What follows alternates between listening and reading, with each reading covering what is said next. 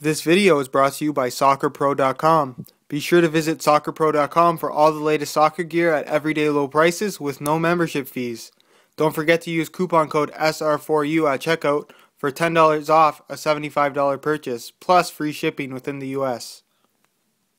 Hey guys, Josh from SoccerReviewsForYou.com bringing you an unboxing video of a pair of Nike Mercurial Vapor 8s in the brand new retro orange colorway featuring the All Conditions Control ACC from Nike. Get the string bag out of the box here, featuring the retro orange colorway, just like the shoes. Of course, you have the Mercurial logo in orange, as well as the Nike swoosh. It's just your standard string bag that you get with all the top-end shoes from Nike. Get that out of the way.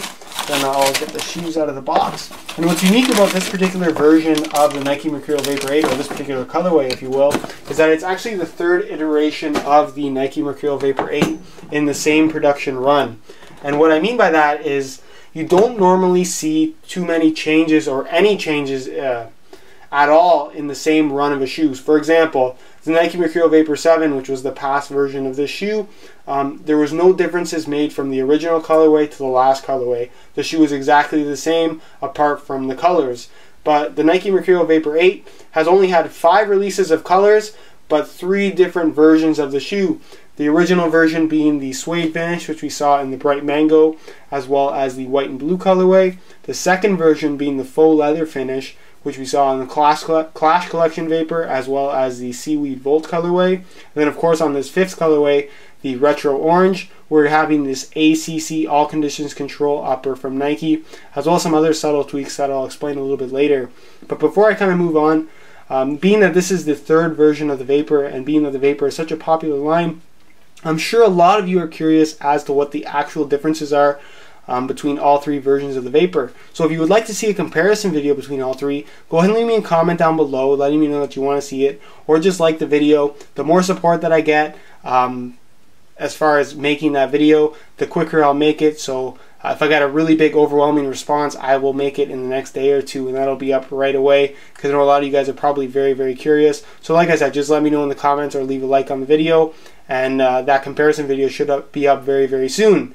But uh, just to talk a little bit about all conditions control, if you're not familiar with this, this is something that we originally saw released or unveiled on the Nike CTR 360 Maestri 3 from Nike. And uh, it gained popularity and people really liked it. So Nike kind of introduced it on the rest of their lines.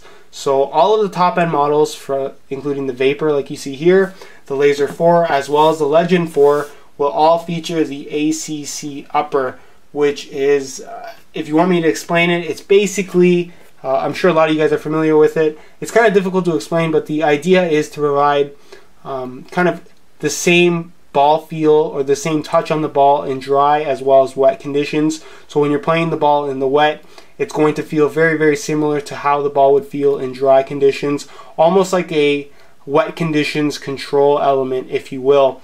And I have used it. I uh, have used it on the Maestri 3, but that is a different upper altogether from the Mercurial. Um, you're going from a very padded, almost leather-like, Kanga-Lite material to a super thin, paper-thin synthetic in the Mercurial series. So very curious to see how that actually does perform on this particular type of shoe in wet conditions. Um, as far as all conditions control is concerned, it's not actually a coating like I'm myself I've been saying it is. Um, that's kind of a big misconception. It's actually something that's permeated in the upper when the upper's in kind of when they're making the actual synthetic. It's not something that is a coating. It's not something that can rub off. It's not something that you can feel with your hands, but it's actually in the makeup of the Teijin synthetic itself, which is really, really cool because you don't have to worry about it wearing away or anything like that. It's kind of a secretive process by Nike, and that's why nobody really knows what it is or how it actually does work. Um, all they know that is it works to an extent, and I think it's pretty cool that they were able to do such a thing like that. The only difference you're going to see is, of course, the ACC logo here on the tongue, and then the texturing of the upper is a little bit different as well this time around. It's kind of a combination between the suede and faux leather finish from the past two versions of the Vapor. I'll get as close up to the camera as possible. You can see there's almost like a very dense sponge-like texturing on the upper here. But like I said, it has kind of a, a soft feel like the suede, but has kind of like a finish of the leather, uh, faux leather version. So kind of a combination between the two. Very, very interested in interested to see how it's going to feel actually on the ball.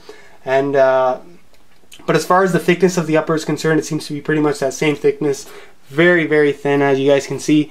And uh, other than that, the shape exa is exactly the same as well. Another change that we've seen on here that is worth mentioning is this kind of vinyl strip that we see around the forefoot and toe box area of the shoe.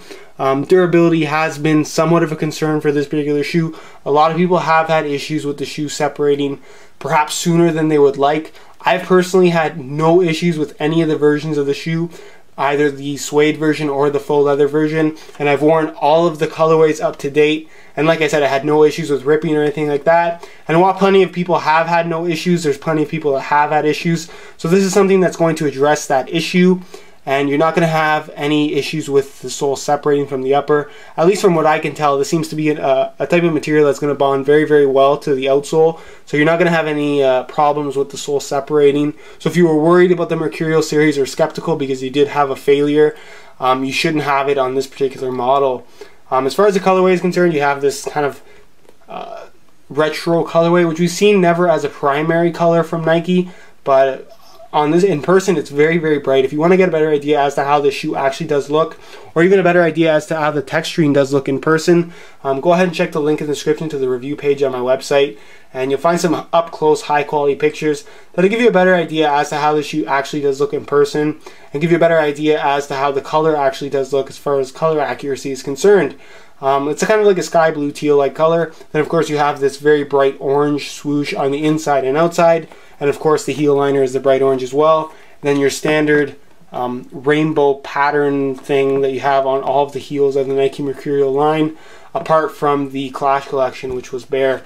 Um, as far as other changes to the shoe are concerned, there aren't any. You have that same perforated insole, very lightweight, kind of a minimis, minimalistic thing. And then as far as the uh, sole plate and stud pattern is concerned, you have that glass fiber sole plate, which is kind of two different sections of it. You have this darker section, which is a double layer of glass fiber to provide a little bit more stiffness and rigidity through the midfoot, which is good not only for support, but it's also going to allow for a little bit more stiffness when striking the ball, giving the shoe more of a solid feel, considering how lightweight it is, being in that six ounce mark or around that six ounce mark, which is very, very light. Then, of course, on the forefoot, you have the lighter glass fiber being only because it's one single layer, so it's a little bit more flexible and it's going to allow for um, uh, more responsive feel in the forefoot. So you can have that flexibility in the forefoot, then of course that stiff midfoot. So like I said, has a very solid feel for how lightweight it actually is. As far as the stud pattern is concerned, this is the firm ground stud pattern featuring pretty much six studs. It's somewhat unusual for a firm ground stud pattern.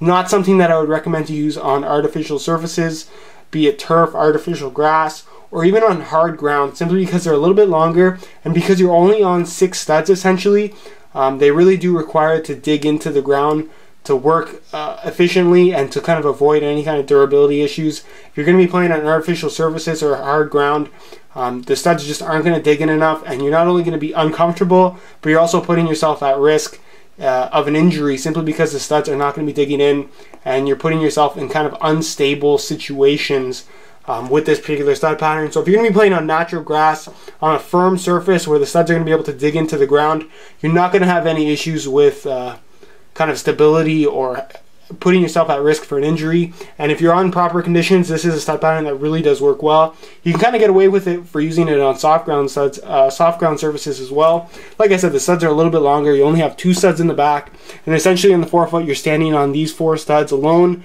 So not too much under your feet, but if you have, if you're on a surface where the studs are going to be able to dig in pretty well, you're going to have really good traction. It's probably one of the most unique firm ground stud patterns on the on the market. And like I said, with proper conditions, um, it works really, really well. So like I said, very excited to wear this particular shoe. And I will do a brand new full written review for this as well, being that it is a pretty much a all new shoe from Nike. Um, the third version of the Mercurial Vapor 8. So that full written review should be up in a couple of weeks or so, guys. I'll get that up as soon as possible. But in the meantime, if you do want to go to that review page on my website, there will be a link in the description. And what you're going to find there is the high quality pictures of this shoe, as well as buy it now links with the best prices online, including some exclusive coupon codes for SR4U fans to get you guys some additional discounts if you are interested in ordering a pair of these particular shoes. Um, but that's pretty much it, guys. If you have any questions related to the video, go ahead and leave a comment down below. And if you have any questions not related to the video, go ahead and leave that on my Facebook page. There will be a link in the description of that as well. And as always, guys, thanks for watching.